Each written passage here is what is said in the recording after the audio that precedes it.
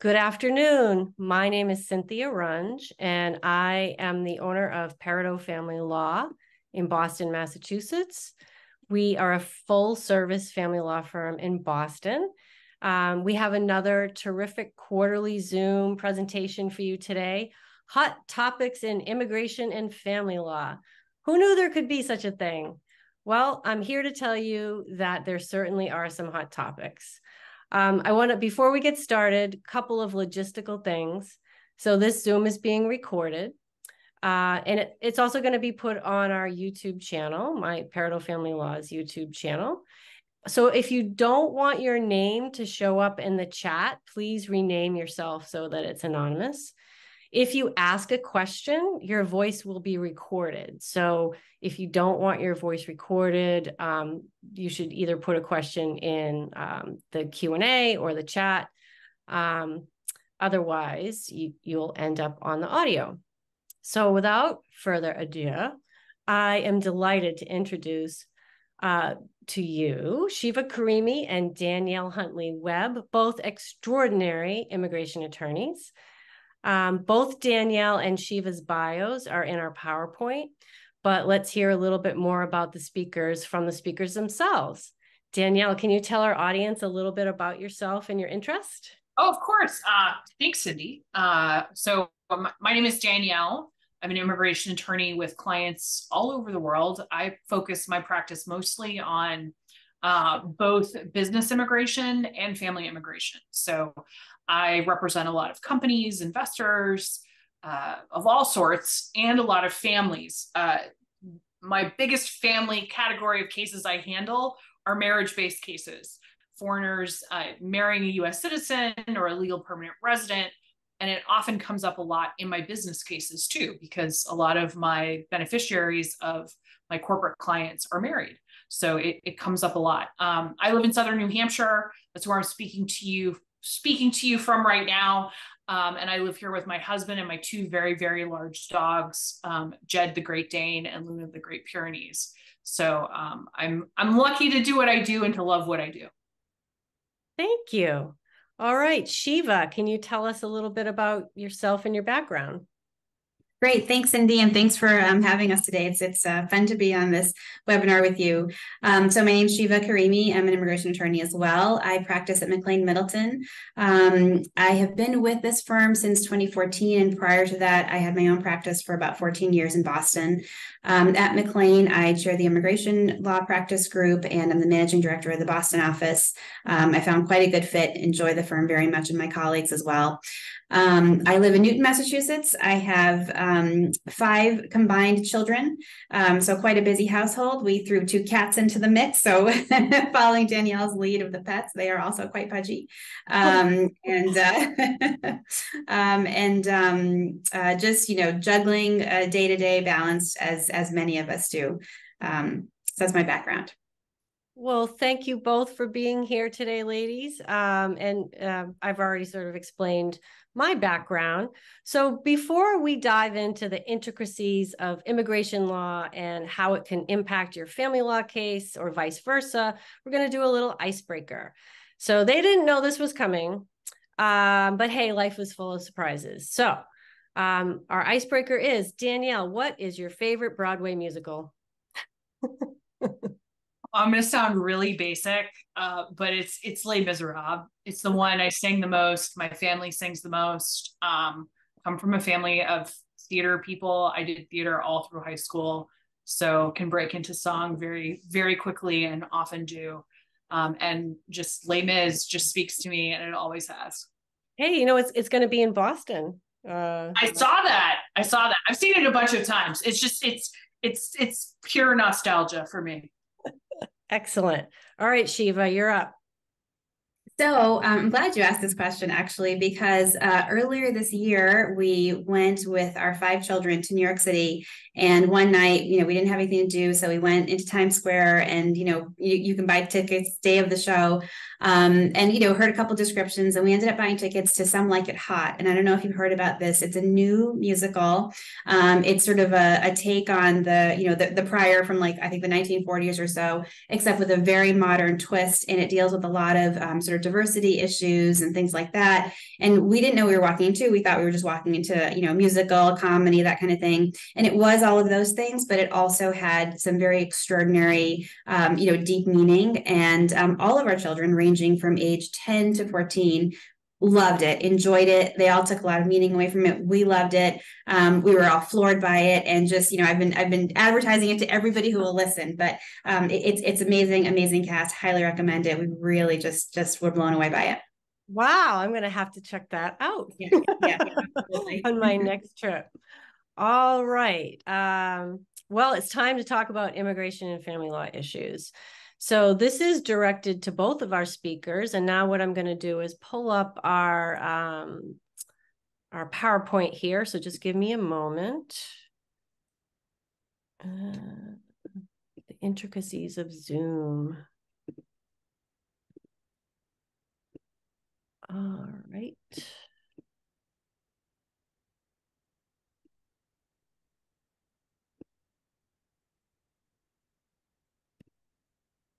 Okay, so this um, just a little bit about our program and anyone who would like to get a copy of the PowerPoint, you're welcome. Got fantastic pictures of Danielle and Shiva here. So um, starting off at the top, um, how do, um, well, what happens when immigration and family law issues collide? So just starting off, um, how often do you find that it, family law comes up in your cases? And this is just generally to either Shiva or Danielle. I think actually Danielle gave a good introduction in the beginning, you know, talking about how there's a, a always a crossover. Um, I, I, will say, um, and I didn't add this in, in, the introduction, but the my practice area is mostly business immigration.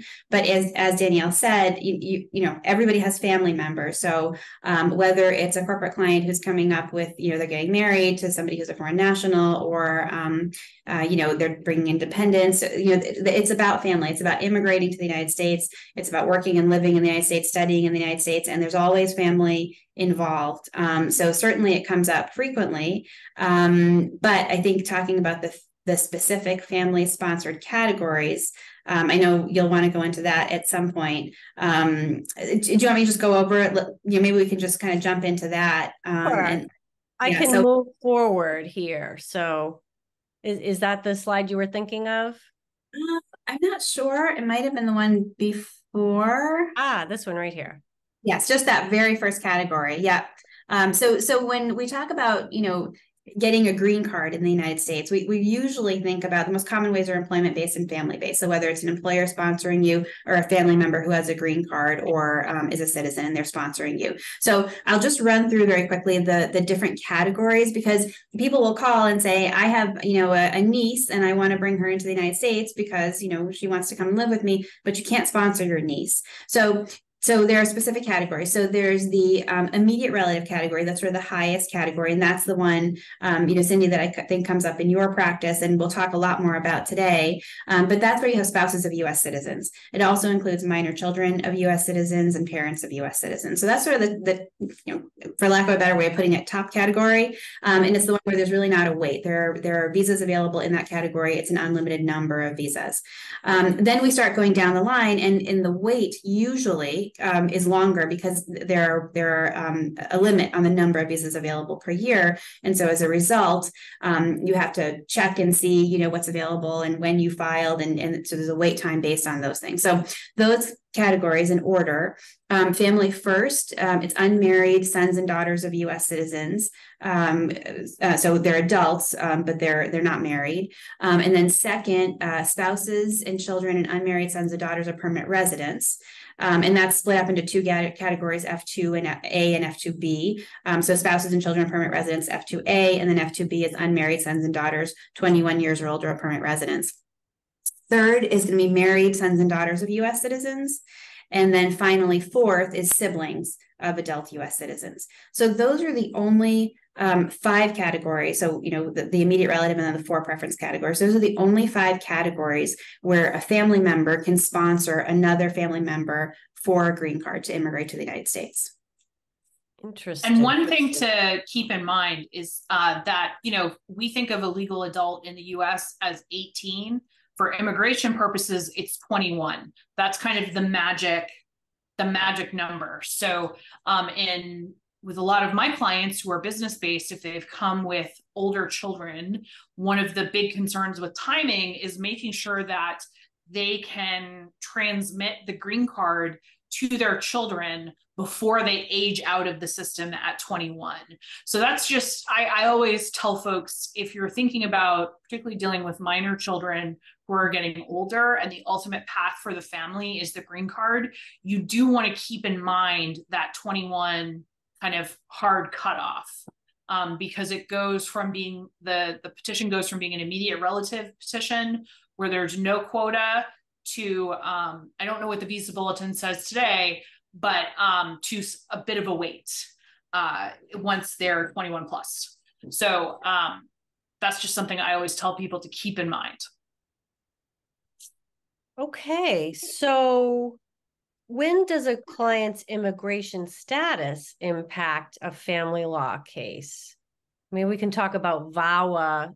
Um, sure. An example. Sure. So, so there's two parts to every green card application. Uh, the first part is what's different for everybody. There's different categories family, employment, investment. For our purposes today, we're really talking about family. So that's filed with what's called an I 130 immediate relative, uh, immigrant relative petition. And that puts people in the five categories that Shiva talked about. Um, so that's how someone qualifies. The second part of a green card application is, is the same for everybody. And if you're filing it in the United States, it's called an adjustment of status application. If you're outside of the United States, it's called an immigrant visa application. Um, and uh, where this comes up is often when something goes wrong. So an I-130 has been filed, the, uh, or the whole green card application has been filed. It's pending with USCIS, and something happens in the relationship. It breaks down. Um, often I've seen it most where um, someone has gotten their green card and then people are getting divorced. Um, I've also done most of my pro bono practice is around something called VAWA. And VAWA cases are for people, um, men or women, even though it's called the Violence Against Women Act. That's what authorized this particular type of green card application.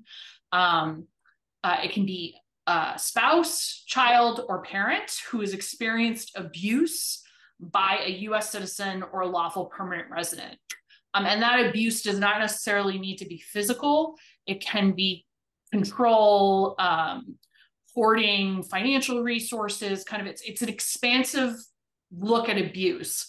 But one of the questions I get asked is, well, we had a big fight. Is that does that qualify as VAWA? And my my response is no.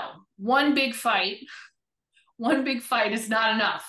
We need to really, even if it was really bad, even if it was really bad, and you screamed and you stood in front of each other and lost your minds and screamed, screamed bloody murder at each other.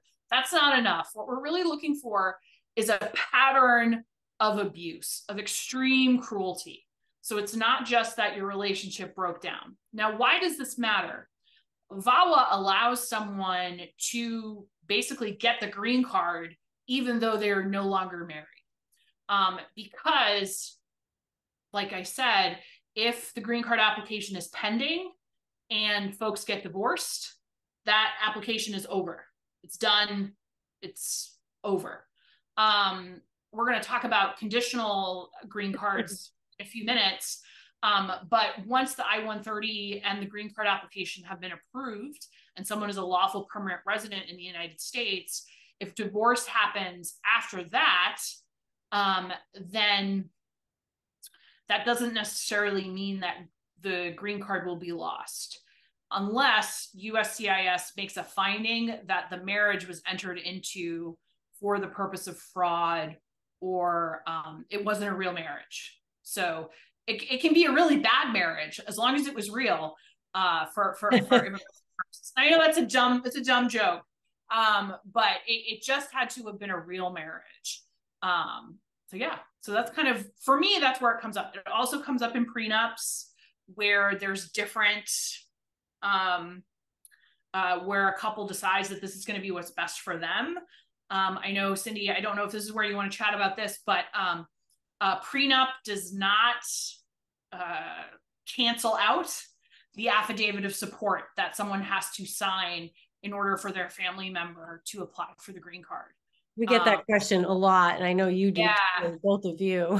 yeah, yeah. So prenup does not negate the affidavit of support, but the affidavit of support you're looking at it's when you actually look at the numbers of what's required. It's not. It's pretty. It's it's fairly minimal. You're typically going to be spending more in alimony or child support than anything that you would owe under the affidavit of support. Mm-hmm.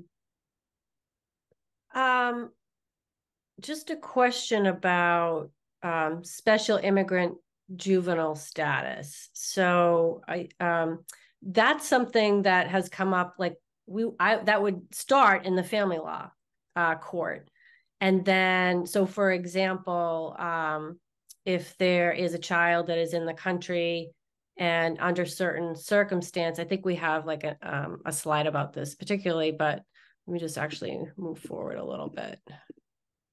Yeah, right here.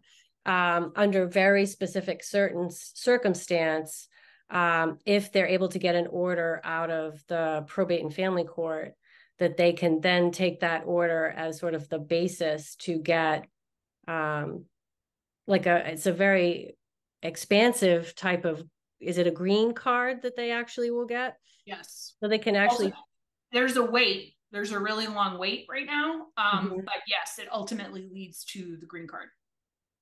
And um, Danielle, you were saying something else um, before we started about how it's a little bit different than something like VAWA because I think you were trying to make a distinction about as SIDGE cases. Right. So SIDGE cases are really going to come up for um, for folks who have come here to the United States um, most of the time fleeing poverty, violence, and are here in the United States um, unlawfully, and they have been abandoned by a family member. So it's typically not going to come up in a divorce case um, or uh, or kind of within your not typical, but your kind of typical family law practice. You're just not really going to see it. Mm-hmm. Um, I've seen it mostly for nonprofit from you know my colleagues who work at nonprofits as well as um, you know uh, practices that focus more on removal in terms of helping kids um, the what's critical is that 21 year uh, age cutoff where i believe the requirement is you have to have this you have to have filed and have the final state order before you turn 21 in order to qualify. I believe that's that's the rule. So it's it's very critical that if someone thinks that they're eligible for for relief as a special immigrant juvenile, uh, that they get the balls rolling earlier rather than later. Hey, um, so I'm going to move forward because some of this stuff it's going to be um, in some of these later slides, but um, so Shiva, um, can you explain what the fiance visas are and the petition? That are listed here? And how does that sure. help? Yeah. Sorry, Cindy, go ahead. Oh no, you're right. Um, I just can you explain what those are? Yeah. So um, so um, I, we, when we think about you know getting a green card for the spouse or, or to be spouse of a U.S. citizen, um, oftentimes we think a lot about the timing and um, determines we sort of figure out what the timing is as far as travel and being in the United States, and we go backwards from there and then figure out the best solution. So the three different types of processes that we think about um, are the fiance visa and then the two petitions listed here. Um, so a fiance visa is for individuals who are not yet married, um, but are free to marry. There are a few different requirements. You have to be free to marry. You can't be married to anybody else. Um, you uh, have to have met in person within the last two years And of course, you have to prove a valid relationship. And so the petition for a fiance visa is filed inside the United States. And once it's approved, then the spouse who is outside the United States will go to the US Embassy, obtain a fiance visa, come into the US. And once they enter the US, they have 90 days to get married and to file for a green card through adjustment of status. Um, 90 days seems like a long time, but it happens very, very quickly. And so that piece of it I find to be quite restrictive because it's it's requiring people to, to get this done not only get married file um, and if they don't um, you know they can they can do it later and, and sometimes we can you know and excuse that and um, you know it's not the end of the world but what they can't do is stay for some other reason get married to somebody else um, you know so it's very restrictive in that way so that is one option. Um, and then the second one, it, um, you know, is the petition, and Danielle touched on this a little bit as well. Um, the underlying petition is called an I-130, so that gets filed inside the United States. The purpose of that is to prove, again, that there's a valid relationship between the parties, and there's there's a category, in this case, an immediate relative, um, you know, visa available.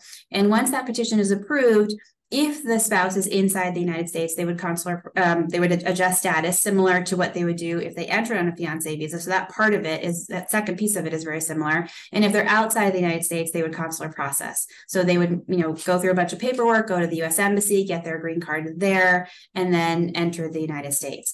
Um, the and they all work fine. You know, there, there's not one that's better than another. Um, but the timing uh, fluctuates you know with the petitions how long is it taking now how long is the fiance visa petition taking? That's a huge consideration and whenever um, somebody is looking to do this you know you have to talk to a lawyer and kind of figure out okay you know what, what's the timing today? Um, and that doesn't necessarily mean that's what it's going to be tomorrow or six months from now.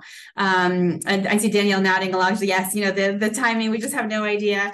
Um, and then um, the other piece of it that's really important that we think about is um, travel. So if you're um, you know, if you come in on a fiance visa or if you you're in the US and you have your petition approved and now you're filing for adjustment of status, in most visa categories, you can't travel while the petition is pending until your travel authorization is approved. So when you when you file your adjustment of status, you can file for temporary travel authorization and employment authorization, but until that's approved, you're stuck in the United States. There's some statuses, H-1B and L-1 status, where you can travel without this, but in others, whether you're on a student visa or you know you came in on a visitor's visa, you can't. So you're stuck. And travel authorization can sometimes take you know let's say three to nine months right now. I mean, it's just a, it's such a long wait.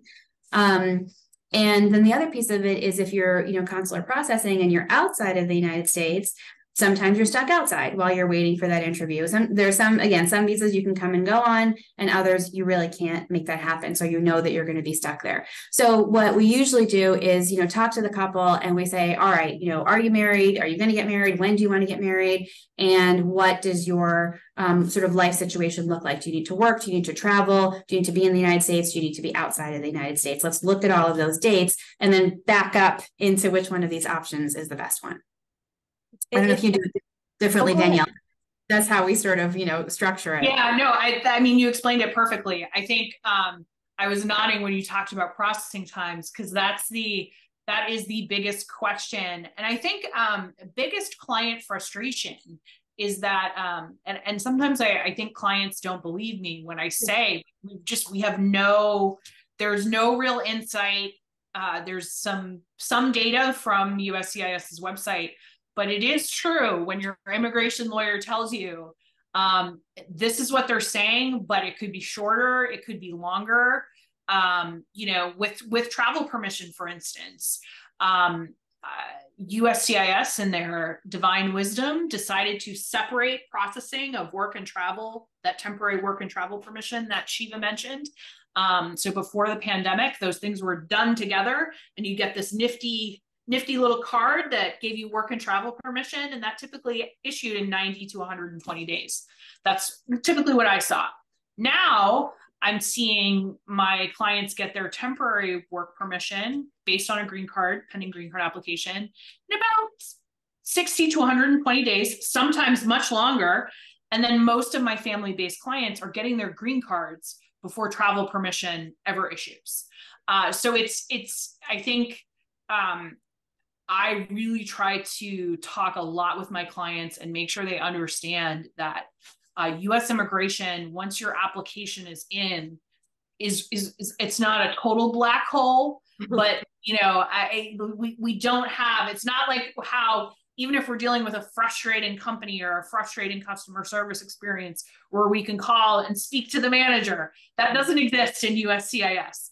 Um, you know, uh, and I, and I, I, I, I, will often tell clients, um, particularly if we have a case that is taking longer than expected and they want us to, um, there, there are some mechanisms to reach out. And I tell them uh, to, to level set expectations that, um, you know, immigration lawyers call the USCIS's phone number 1-800 useless. Um, because it's just it's it's it's like screaming into the void. So um you know I, I think the the really important piece of all of this is to have patience which is really really hard because um you know it's it's it's really really it's really hard to be in limbo and wait. So i i, I just second everything shiva shiva just said. I've yeah. noticed oh i'm sorry. No please go ahead I've noticed with you know prenups where there's immigration issues, you know, normally if someone, you know, they they want to have a prenup, they'll say, okay, our wedding date is this. But usually if there's immigration issues, it's like, well, well, it's going to be between this date and this date, and so it's always kind of a moving target. And sometimes it seems to get moved up abruptly, or well, because I've I will I've had uh, many clients get engaged right after they get off the phone with me from an initial consultation. Mm-hmm. um, uh, because I also tell people, uh, you know, for for a marriage based petition, I don't need you to have a big church wedding. You can have it, you know, you can, particularly with all the travel restrictions and stuff like that. I just need you to get legally married right. and to have a real relationship. So I have a lot of clients who will just go to City Hall and get married so that we can get things filed. So that's also when a prenup comes up, I tell folks if you if that's something that you are interested in doing and that's important to you, you need to kind of get the ball the ball rolling with that as soon as possible because uh, you know um, busy family lawyers like Cindy, you know, it's not something that can appear out of the out of the air within you know 15 minutes. It's a it's an actual process. Yeah. so yeah. No i'm not surprised you you see marriage marriage dates get pushed up abruptly. They probably talk to their immigration lawyer. Right. my fault. Going to move on to the next slide. What is conditional residence? Oh i'll take i'll take this one. I'll take this one. So um so conditional residence is if someone is granted a green card based on a marriage that is less than two years old when the green card is granted. Mm-hmm. Um, and so what happens is that the the beneficiary, so the the foreign national, gets their green card and it's only valid for two years. And they have to file a petition to remove the conditions on their green card um, in the 90 day window between their two year uh, uh, before their two year anniversary of getting the green card okay. so if someone's two year anniversary of getting the green card was today october 5th 2023 the window for filing this petition to remove conditions would have opened 90 days 90 days ago and basically it's uh, because getting married to a us citizen is one of the fastest and frankly least restricted ways to get a green card or permanent residence in the United States, um, the conditional residence requirement gives people the op- gives USCIS the opportunity to take another look and to confirm that there was not marriage fraud. Mm-hmm. Now, um, because I've had this happen with clients, sometimes relationships fail. Uh, things don't work out. Um, and so I've had I've had panicked phone calls from clients who have the conditional green card and they're getting divorced. Um, or I actually just had a client whose husband died, and um, very, very, very sad. Um, and I always tell them, your relationship was real, unless they're totally lying to me and fabricating every piece of evidence that we've submitted on their behalf to USCIS. Your relationship was real. Divorce doesn't change that.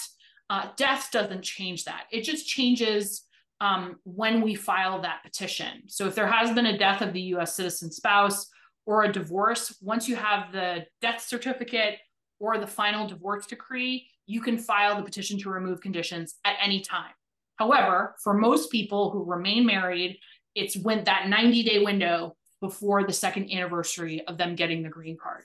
Um, now, one of the things I always tell my clients is that I want them to become US citizens as fast as possible so that they don't have to deal with immigration ever again if they don't want to. Um, so, US citizen, uh, someone who's married to a US citizen can apply for naturalization, so the process to become a US citizen, um, three years after they've they only need three years of time in lawful permanent resident status uh, if they're married to a US citizen. It's typically five years for everyone else. Um, reason why I bring this up now is that USCIS tends to take years to adjudicate the I 751, the petition to remove conditions. Um, and uh, so some people have the mistaken belief that they have to wait for USCIS to adjudicate that petition before they file their naturalization application. And that's not the case. Um, I tell my clients that the fastest way to get them to adjudicate the condi- conditional residency application is to file for naturalization on that three year anniversary date. Um, and they'll adjudicate, USCIS will adjudicate both petitions on the same day as the naturalization interview. Interesting. That was a lot of information. is. Um, I'll just say that the most common question I think, Cindy, that I've heard from your clients is exactly what Danielle said about, you know, the relationship didn't work out. This is how I got my green card. Can I yeah. still get my green card? That's the biggest piece. And and you know, Danielle explained that very clearly, but like there was so much of it. I just wanted to highlight that piece of it. You know, if you're going to file your your I-751 um, petition to remove conditional residence, it's either I'm still married, we're filing jointly, or um, we're separated, divorced, about to get divorced, um, and I'm I'm filing on my own, but look, it was still a valid relationship. Or three, I believe there's a ground for um, you know like an abusive relationship as well. Um, but the the the answer is yes, you can still keep your green card as long as your relationship was a valid one. What about? Um, I, I, think you've answered this question, but I know um, someone once asked me about. Well, I helped the person get a green card. Now you know we're going through a divorce, and what can I do to get it undone? I mean, basically, they're just uh, out of luck. yeah. So, yeah, I mean, I've had, I have dealt with the aftermath mm. of phone calls that are made to um, immigration by disgruntled exes, whether they be spouses or girlfriends or boyfriends, um, vindictive friends, uh, because ICE does have a tip line Mm-hmm. Um, I always, anytime I'm speaking with someone who is feeling very angry about that and kind of wants to interfere with that process or make a report, I, I personally don't participate in that. Mm-hmm. Um, and I tell them, like, it was a real, if it was a, I mean, you're basically saying that you committed marriage fraud, which is a federal crime. Mm-hmm. Uh, I mean, I can't. right exactly. No but like i know that's what you're saying.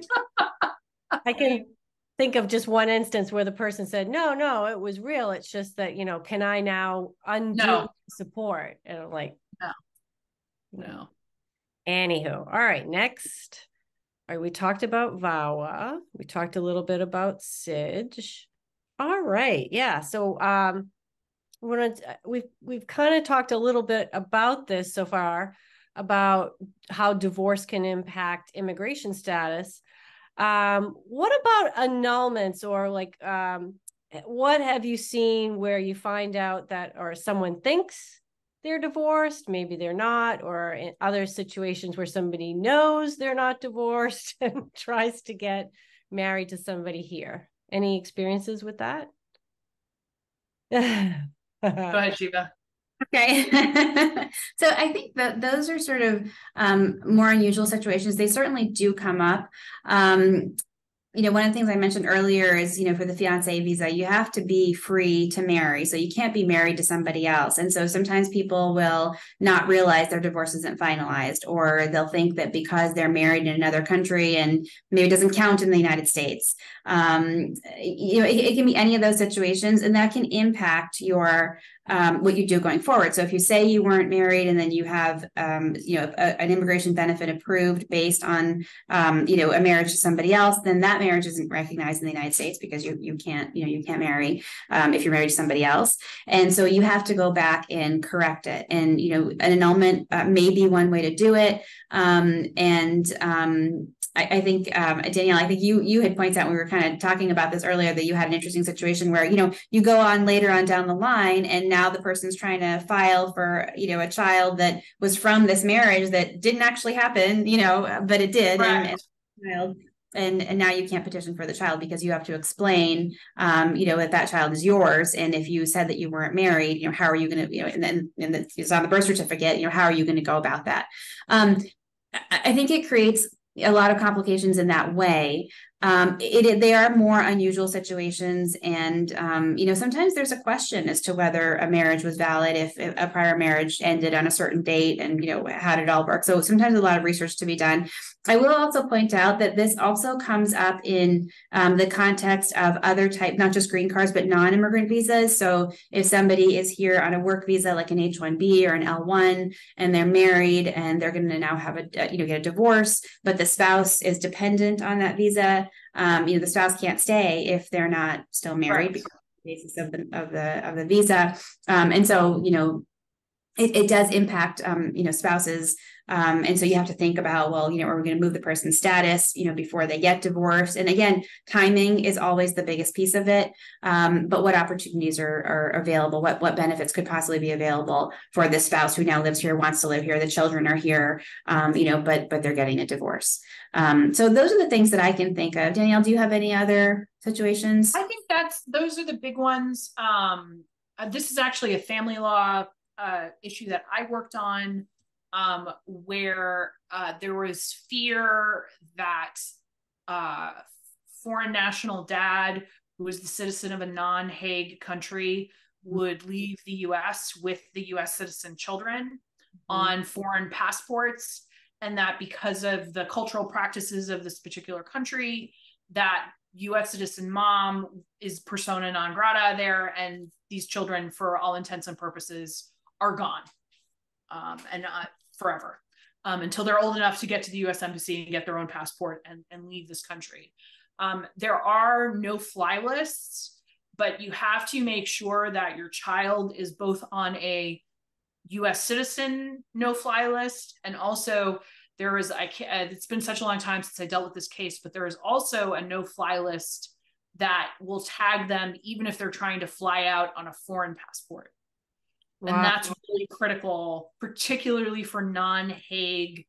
Um, and that what I'm what I mean by non-Hague is that there are certain treaty agreements between different countries where they will cooperate if there is an international custody dispute. So if, you know, mom or dad leaves and takes the kids to England or France, you know, it doesn't mean that US citizen parent in Boston is now up a paddle and you know has no recourse to these other countries to get children back into the United States or whatever. Although um, it can still be complicated. right. Still yeah. very complicated and awful to deal with. Right. But um, you know, they're they're uh it, it's it's a really it can be really scary a really scary thing to do. So whenever dealing with countries from non-Hague uh, countries, I always make sure, particularly if dad has never really been involved, that mom makes a, or whatever parent, it's typically US citizen mom, US citizen mom makes sure that she has a full custody, like has a very formalized custody grant from the family court so that there's no question that dad cannot just march in and abscond with the children. We once so. um, had a situation where, um, you know, we were presented with a divorce decree from a, a foreign country, and we had a lot of concern about its validity, and we ended up having to retain counsel in that country, who was basically like the head of the Women's Bar Association of that country. And that person went into the courts and found out found out that those documents were actually forged. So the marriage in this country was invalid and so that's how we that would you know it's it's amazing but it happens yeah. It does. It does. All right. So what I'm going to do now, just going to check our questions. And all right. So for our questions, I've got um, this one's for Shiva.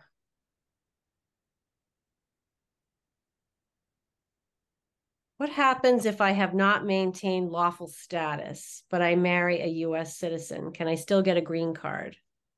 That's a very good question. Yes. And, um, you know, usually if you're not in status, it's very difficult to adjust status to permanent resident. However, um, you know, as we were saying earlier, marriage to a US citizen is one of the fastest and, and most straightforward ways of getting a green card. There's an exception. So for marriage to a US citizen, um, if you're married to a US citizen, you fall out of status, you still can go through and you know to the end and, and successfully get, successfully get your green card without having to leave the U.S. and come back in, which would otherwise be the remedy. So long as you you're able to prove that you entered the country lawfully. So you just need you know some document that says you got here lawfully, and it could have been 20 years ago and you fell out of status. That's still okay. You can still, um, if you're married to a U.S. citizen, you can still adjust status and get a green card.